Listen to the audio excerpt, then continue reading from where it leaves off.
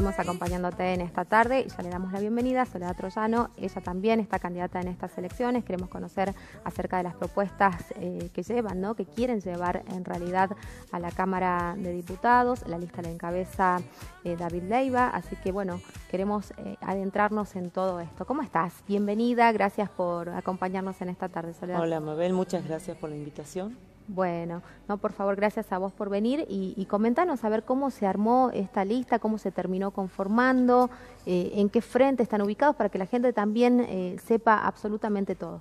Bueno, estamos dentro del Frente Gana Salta. Eh, se conformó la lista de acuerdo al conjunto de hombres y mujeres. Fuimos en diferentes lugares. Las mujeres trabajamos todas juntas dentro del frente gracias a a que tenemos muy buena coordinación y nos llevamos muy bien, así que más allá de estar en diferentes listas, estamos trabajando todas juntas. Ayer, ayer se hizo la presentación este, de, de Gana Salta, ¿no? Me parece que fue una presentación oficial. del frente, sí. En un lugar abierto. En el Bicentenario, sí, un lugar abierto como exigen los protocolos.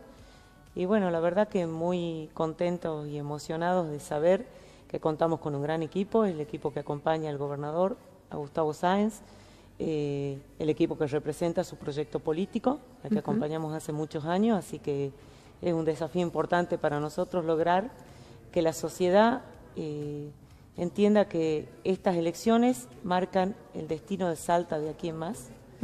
Estamos frente a una pandemia mundial que fue muy este, fuerte a nivel económico, sobre todo en los barrios, así que intentando generar fuentes de trabajo y proyectos para sacar a Salta adelante, que es lo que necesita. Seguro que sí. Y me gustaría, Soledad, que me cuentes eh, cómo atraviesa tu vida la, la, política, ¿no? Porque obviamente cuando uno escucha tu apellido, eh, uno se, se, remonta, digamos, también a, a, tu familia y por eso quiero eh, conocer cómo, cómo te vinculás con esto, cómo has decidido también transitar ese mismo camino, ¿no? Bueno, la verdad que la política hay que amarla para poderla hacer. Yo siempre digo que es muy difícil hacer política si uno no la ama.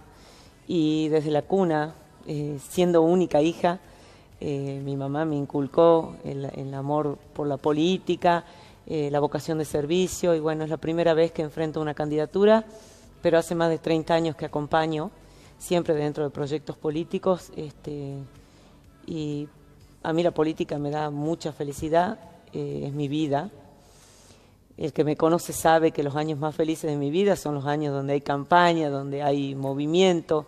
Eh, bueno, uno por ahí reniega de esto cuando es chico porque obviamente no tuve mi mamá mucho tiempo a mi lado y hoy mis hijos reniegan de lo mismo. Pero bueno, es, es una pasión, eh, es amor por el otro, es servicio hacia el otro, así que el desafío es ese, poder poner mi impronta dentro de la Cámara de Diputados y eh, buscar proyectos de ley que acompañen a la sociedad.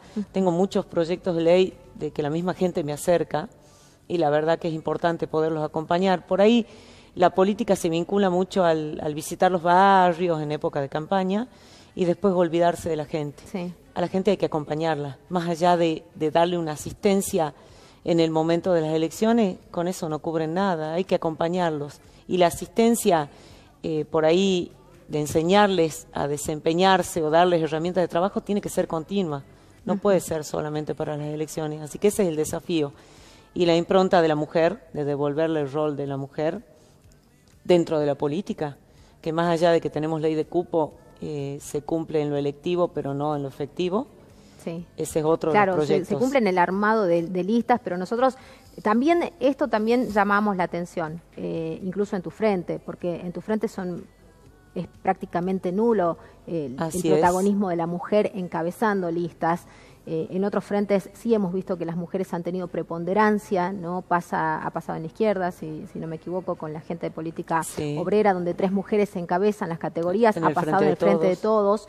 Entonces nos llama la atención que hoy en día todavía tengamos que estar demandando y o exigiendo ¿no? que eh, las mujeres estén y que además sean mujeres representativas para nosotros, porque a mí de nada me sirve que, lleguen hombres y mujeres que no nos representan, hombres y mujeres que no han hecho nada por ninguno de los ciudadanos, que van simplemente a cobrar un sueldo, ¿no? Y después eh, se dedican a, cualquier cosa menos a gestionar por la gente o a generar proyectos que de verdad les cambien la vida. No, por supuesto, la verdad que ese es un desafío que tenemos las mujeres del Frente Gana Salta por ahora y a partir del 16 de agosto lo vamos a implementar con todas las mujeres de diferentes ramas políticas porque armamos un movimiento de mujeres. No quisimos confundir eh, antes de las elecciones eh, juntándonos todas porque confundíamos las listas, los diferentes frentes, pero después del 16 de agosto nos vamos a juntar todas para devolverle el rol de la mujer dentro de la política que debe ocupar, estar en las mesas de decisiones, tomar decisiones y no estar esperando que los hombres decidan por nosotros, aparte que nos obligan a demostrar la calidad este, intelectual que tenemos, la capacidad, nos piden títulos. Yo no veo que a un hombre se le pida título para ser política o para encabezar una lista. Y a la mujer generalmente se la asocia con que qué título tenés. Para ser político no hay que tener un título, al contrario, la política se siente y se ama. Si no, por más títulos universitarios que tengas, los grandes políticos de este país no tuvieron título y sin embargo dejaron una impronta que al, al correr del tiempo se sigue sintiendo en este país. Entonces, el título no tiene nada que ver con el político. Sí la preparación política, eso sí, pero bueno. Y, las ganas de hacer por el otro, porque por, ahí no, no, tienen ni una cosa ni la otra, ¿no? no los acompaña el título, pero tampoco los acompaña el compromiso. Y creo que ahí es donde los salteños y las salteñas tenemos que llamar la atención y sobre todo llamar la atención con el voto, que es tan importante que es una herramienta, la, única herramienta democrática de expresión genuina que, que tenemos, ¿no? Yo siempre planteo el tema de las encuestas, que muchos se abocan a, creer en las encuestas, en que las encuestas y se ponen locos. A ver, yo creo que la gente, primero y principal, no va a decir a quién vota porque sabe que el voto es secreto. Sí. Eh, obviamente los barrios, la gente agarra todo lo que se les ofrece y después vota el que quiere. Hay que creer que el pueblo es inteligente para votar y los representantes, que seríamos los que ocuparíamos lugares, estamos porque el pueblo nos puso en ese lugar. Eso también hay que entenderlo porque por ahí eh, se menosprecia mucho a la política, se habla mucho de los políticos. Eh, es verdad que no es la calidad política que teníamos antes, sí. Eh, pero también eso eso me impulsó a involucrarme porque siempre lo miraba de afuera. me gusta que hagas este reconocimiento también, ¿no? Porque nosotros lo hemos planteado muchas veces que, lamentablemente vemos un hasta en lo discursivo digamos, un nivel tan a la baja, ¿no? nivelamos hacia abajo, lamentablemente. Creo que en la provincia fundamentalmente porque es mi ámbito de trabajo, pero también pasa a nivel nacional.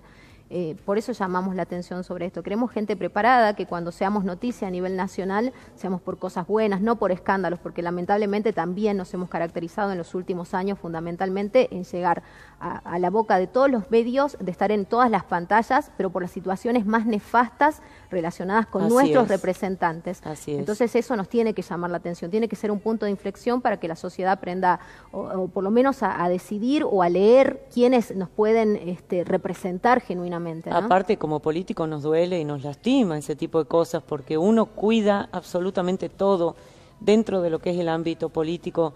Eh, yo siempre digo, eh, mi madre me enseñó eh, que en la vida hay que tener las manos limpias. Y bueno, por ahí no todos aplican lo mismo, o por ahí, como vos decís, este, entran en un cargo y no se dan cuenta lo que lo que acarrea el cargo. No es este, ganar una elección y punto es toda una responsabilidad. Esto no es un juego, no es un chiste. Hacer política no es un chiste. Es una responsabilidad y es muy grande. Soledad, ¿y qué, qué es lo que más te, te parece como, como mujer? ¿Con qué te gustaría comprometerte? A ver, ahora que tenemos. Bueno, como mujer, con el movimiento de mujeres, que lo tenemos formado y la verdad que cada día más, me asombra más la capacidad y la, la tenacidad de las mujeres que nos acompañan. Te vuelvo a repetir, dentro del frente, pero con los otros frentes de mujeres este, de diferentes partidos políticos también tenemos muchas similitudes y sí tenemos el compromiso de seguir con esto. Eh, en lo personal yo soy autoridad del Partido Justicialista, soy miembro de la CAP y también me comprometí con las mujeres de mi partido a reactivar la rama femenina, que es la columna vertebral del Partido Justicialista. Eh, mi madre fue la creadora de la rama femenina en Salta y es como un legado de decir, las mujeres tuvieron su, su rama orgánica dentro del partido y se perdió absolutamente todo. Hay que hacer un mea culpa, nosotros permitimos que nos quiten esos lugares, o no los supimos defender, o no, o no supimos eh, pararnos en las situaciones, pero yo creo que es el momento de que la mujer vuelva a tener relevancia dentro de la ayer fue un día muy emblemático, ¿no? Un aniversario más del fallecimiento de Eva Duarte de Perón, un legado enorme, una vida muy corta, este, donde, como vos decías, ella no tuvo una formación profesional, pero sí tuvo la vocación de servicio para hacer muchísimas cosas. Así es. Y, por eso se la recuerda y se la reivindica tanto. Así es, eso es lo que nos marcó, por lo menos en lo personal, eh, dentro de mi familia. Eva Perón eh, es el gran estandarte que nos marcó eh, mi madre sigue hasta el día de hoy haciendo política, más allá de no estar activa dentro de la política partidaria, si, se quiere llamar, eh, pero siempre pensando en el otro y al servicio del otro. Hace pocos días eh, concurrí a un centro de salud, el número 59, que está en Villa Palmeritas. Mi familia lo, donó, lo hizo al centro de salud en el año 95, cuando era una villa de emergencia, no había este, casas, eran casillas y demás, pensando justamente en dar un aporte a la sociedad o ayudar a la sociedad, más, más allá de no ocupar en ese momento eh, ni mi mamá ni nadie de mi familia ningún cargo de relevancia dentro del gobierno, pero sí era importante, ella siempre nos, nos marcaba eso, de que hay que devolverle a la sociedad un poco de lo que uno recibe. Y bueno, hoy estamos atrás de, de apadrinar comedores sociales, donde realmente hay mucho esfuerzo de la gente que, que da de comer a los niños, adultos, porque con esta pandemia eh, se perdieron muchas fuentes de trabajo, entonces hay mucha gente que demanda. Hay muchas necesidades. Así que estamos atrás de eso, eh, es una labor que me encanta, me llena de alegría. Tenés la colaboración de personas que no, por ahí no comparten la política, pero sí comparten el amor al prójimo.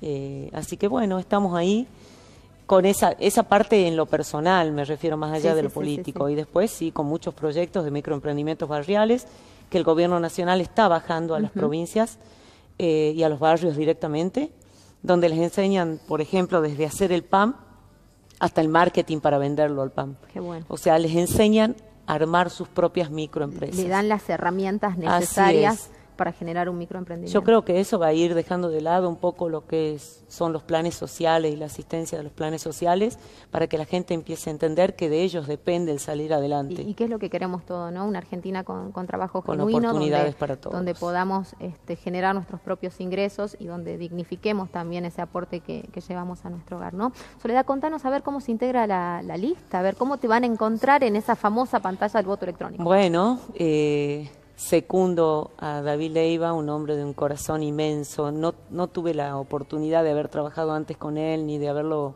conocido en lo personal y la verdad que me llevé una sorpresa eh, inmensa eh, para bien.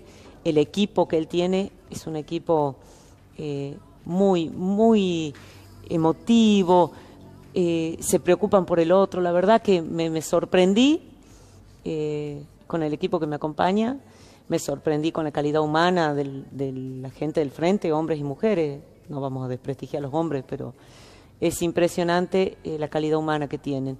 Y bueno, hay que buscarlo a David en la lista.